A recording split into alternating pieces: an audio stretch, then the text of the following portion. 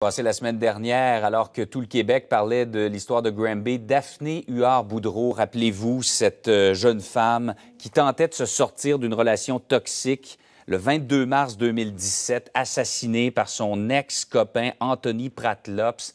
L'affaire avait beaucoup fait parler au Québec, avait euh, remis en cause toute cette question de, de la vulnérabilité de ces victimes de violences conjugales alors que Daphné, justement, sortait de cette relation toxique-là et qu'Anthony Pratlops ne cessait de la pourchasser. Une dernière fois, elle l'avait attirée pour tenter de lui remettre ses effets personnels et l'avait assassinée. Contre toute attente, la semaine dernière, à quelques jours d'ouverture du procès qui euh, aurait commencé cette semaine, Anthony Pratlops a plaidé coupable à des accusations réduites de meurtre au deuxième degré, 18 ans de prison qu'il devra purger au minimum avant d'être admissible à une libération conditionnelle. Éric Boudreau est le père de Daphné. Il est avec nous ce matin. Bonjour, M. Boudreau. Bonjour.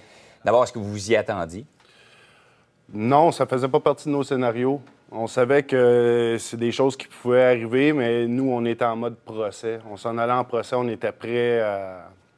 On était prêt à procéder. Dans le fond, là, on s'attendait pas à ça. C'était supposé de commencer lundi, bien aujourd'hui. Donc, euh, non, ça a été un choc. Ça vous a pris de court un peu? C'était pas dans nos scénarios. Là. Ouais. Euh, ouais. Que- comment on fait? là? la, la couronne vous appelle la veille en vous disant demain, il va plaider coupable? Non, ils ont demandé à nous rencontrer pour nous expliquer qu'il y avait eu une entente entre la couronne et la défense. Puis euh, que demain, il fallait se préparer pour parler au juge, pour témoigner aussi, euh, parler, dire notre mot à M. Pratt et euh, au juge. Donc, euh, il a fallu se préparer. Euh, C'était vraiment, on s'est senti un petit peu bousculé dans ça. Quand on dit entente entre la couronne et la défense, je sais pour les familles, c'est toujours très difficile à entendre parce que on a l'impression qu'on s'est entendu, on a négocié sur le meurtre de son proche. Com- comment on le reçoit au départ? Bien, émotivement, euh, ça passe plus ou moins parce qu'il est accusé d'un meurtre non prémédité. Euh, pour nous, c'était clair, c'était prémédité. Euh, on a même fait partie un petit peu de son jeu pour réussir à arriver à ses fins. Il s'est servi de nous. Euh, c'est dur à avaler. C'est vraiment dur à avaler. Par contre, d'un autre côté, il y a le côté du droit. C'est les avocats de la couronne puis de la défense qui ont les preuves en main. Donc, si eux, j'imagine, qui ont jugé que c'était difficile de prouver une préméditation, ben, on n'a comme pas le choix de toute façon. Pas le choix de leur faire confiance avec la preuve qu'ils détenaient et ce qu'ils avaient pour aller à procès versus ce qu'ils ont obtenu. Ben, c'est ça. Exactement. Puis, euh, de toute façon, on la famille ou le père, la mère, euh, on n'a pas un mot à dire sur l'entente. Parlez-moi un petit peu, vous avez eu l'occasion de vous adresser à lui, comme vous disiez, vous avez pas eu beaucoup de temps pour vous virer de bord, comme on dit, mais vous avez eu l'occasion de vous adresser à lui en cours. Qu'est-ce que vous êtes allé lui dire? D'ailleurs, tous les membres de la famille l'ont fait. Oui, ben c'est ça. Euh, tout, le, tout- le monde euh, a écrit un mot, même ma fille, qui ma, ma jeune fille, qui a été parlée au juge, puis Anthony en même temps. Euh, Qu'est-ce qu'on lui a dit? Ben, on lui a raconté tout le mal que ça avait fait, tous les, les effets collatéraux que ça avait causé.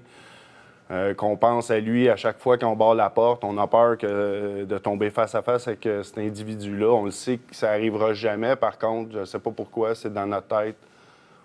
On, on l'imagine tout le temps se sauver de prison, ou faire du mal à ceux qui nous restent aussi. Est-ce que vous. Comment il réagissait à tout ça? Là? Ben, il n'a pas réagi, il regardait par terre. Il n'a pas monté, euh, il s'est pas monté la tête euh, beaucoup euh, pendant le procès. Il était vraiment impassible. Pensez-vous qu'il a compris? J'ai aucune idée. J'ai aucune idée. J'ai de la misère à y croire. Une couple de mois, ben, il y avait des vidéos de lui sur Facebook qui se prenait des photos en prison puis qui se prénommait chef bandit. en quelque part, c'est- pour, Ouais. pour nous, c'est. Y a-tu vraiment compris? Je ne sais pas. Moi, je m'appellerais pas chef bandit, en tout cas, si je regretterais quelque chose comme ça. Euh, là, donc, il s'en va pour les 18 prochaines années à- en prison. Vous, euh, votre vie doit continuer deux ans après, M. Boudreau. Comment, comment vous, vous traversez cette épreuve-là? Ben, c'est difficile. Là, c'est une page du livre qu'on tourne. Euh, on essaye de tourner. Là, on, est, on est en train de le digérer.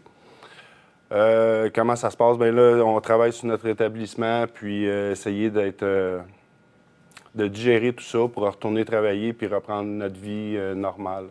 Là, on est en mode on décompresse, puis on analyse tout ça. Donc, ça fait le chapitre judiciaire de tout ça est terminé, mais le chapitre humain, on se doute que c'est le travail d'une vie de passer à travers ça. C'est bizarre parce que vendredi, exactement à votre place, je recevais euh, un auteur d'un livre qui s'appelle Nos enfants sont immortels, qui nous disait qu'il faut trouver un sens, même dans la mort d'un enfant. Le sens de la mort de Daphné, vous voulez pas qu'elle soit oubliée, vous voulez que les gens se rappellent de tout ce qui s'est passé dans son histoire pour pas qu'il y ait d'autres Daphné. Ah, exactement. La violence conjugale, euh, pour nous, c'est rendu une mission de se battre contre ça. L'intervention des policiers, c'est la même chose. Euh, pour nous, ça n'a pas de sens, qu'est-ce qui s'est passé. On veut pas que ça arrive à d'autres jeunes femmes. Euh, On veut pas que ça arrive à personne. Dans le fond, on a beaucoup de combats encore euh, à venir, puis on lâchera pas. Elle n'est pas partie pour rien. Absolument. Et j'oubliais effectivement que vous avez une cause, peut-être que vous allez porter devant les tribunaux contre la ville. Je sais que vous ne voulez pas beaucoup en parler, je comprends, aux, civils, concernant l'intervention des policiers de la police euh, Richelieu-Saint-Laurent. Monsieur Boudreau, merci beaucoup d'être venu nous voir ce matin. Je vous souhaite bonne chance, bon courage à vous et toute votre famille dans cette épreuve-là. Merci beaucoup. Merci.